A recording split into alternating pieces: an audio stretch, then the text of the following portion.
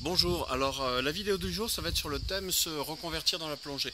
Hein, je vous rappelle que vous pouvez faire tourner une vidéo sur le sujet qui vous intéresse en m'adressant un mail, un petit coup de téléphone, un petit post sur Facebook ou un commentaire sur cette vidéo euh, en n'oubliant pas bien sûr un petit bonjour, une petite formule de politesse, autrement je ne traiterai pas cette demande. Voilà, alors la question du, jour c'est voilà je suis euh, niveau 2 ou niveau 3 et je voudrais faire une reconversion plongée, comment faire?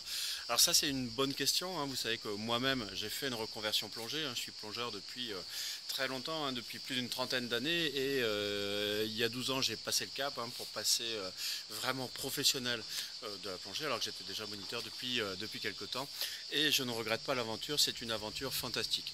Alors attention, j'en ai déjà parlé, la reconversion n'est pas si simple que ça, il faut comprendre que le métier de moniteur de plongée c'est pas un, métier où vous allez gagner énormément d'argent, c'est un métier où la pénibilité est forte. Hein. C'est pas un métier qui, euh, qui demande des capacités et physiques extraordinaires, mais plutôt euh, une grande euh, résistance.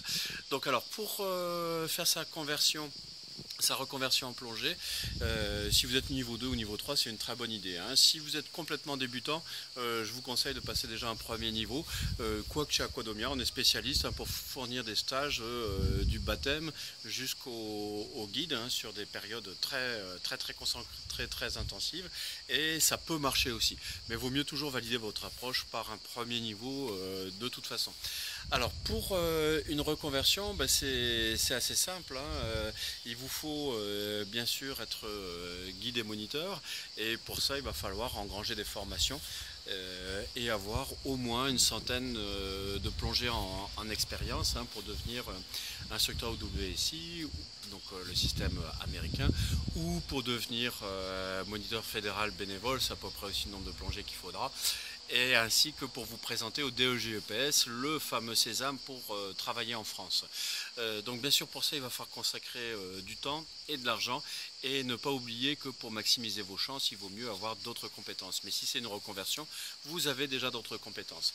Alors en ce qui concerne le financement, ben, c'est clair qu'il va falloir que vous mettiez la main au portefeuille, ça c'est évident, même si on peut avoir des aides par la formation professionnelle continue, hein, notamment le congé individuel de formation avec euh, des fonds comme le fonds GESIF, l'UNAGESIF, euh, l'AFDAS, l'UNIFAF qui permettent de financer des formations si vous vous adressez à un organisme de formation professionnelle comme Aquadomia, hein, qui a dû euh, se conforter aux nouvelles règles avec des plans de qualité formation professionnelle continue qui soient conformes au décret 2017.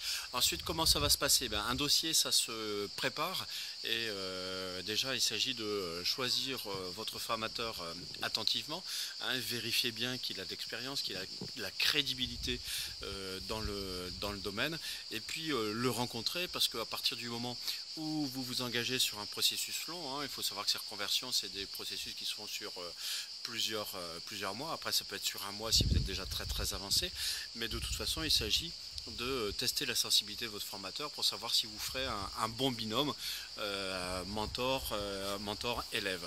Euh, ensuite, c'est des dossiers qui se préparent bien à l'avance. Hein, et pour ça, si vous vous souhaitez rechercher un, financement du type congé individuel de formation, il s'agit de rédiger clairement sur le papier votre euh, projet professionnel en faisant parler euh, le cœur et la raison, hein, les raisons pour lesquelles euh, vous souhaitez faire ce métier, hein, cette passion, et puis montrer que vous avez étudié le marché en termes de données économiques, etc.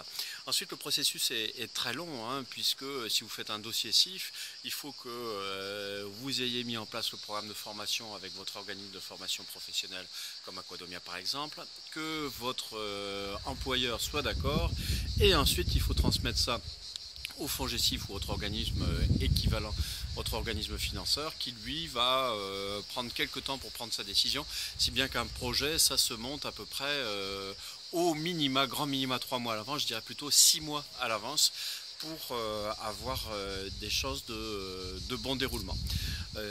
voilà, les possibilités de formation, généralement, euh, pour ma part, moi je vais vous orienter sur euh, l'OWSI, le MF1, hein, qui permettent euh, soit d'enseigner à l'étranger, soit d'enseigner bénévolement en France, pas le DEJEPS, hein, puisque ça c'est la chasse gardée du, CREPS qui fait ce, genre de formation.